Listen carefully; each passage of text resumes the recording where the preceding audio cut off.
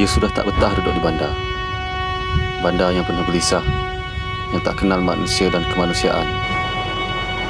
Hanya kenal urusan.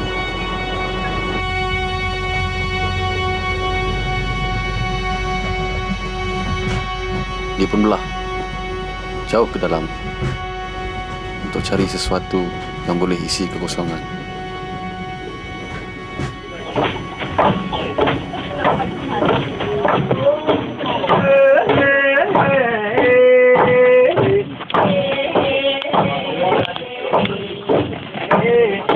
是喇嘛他奴呗。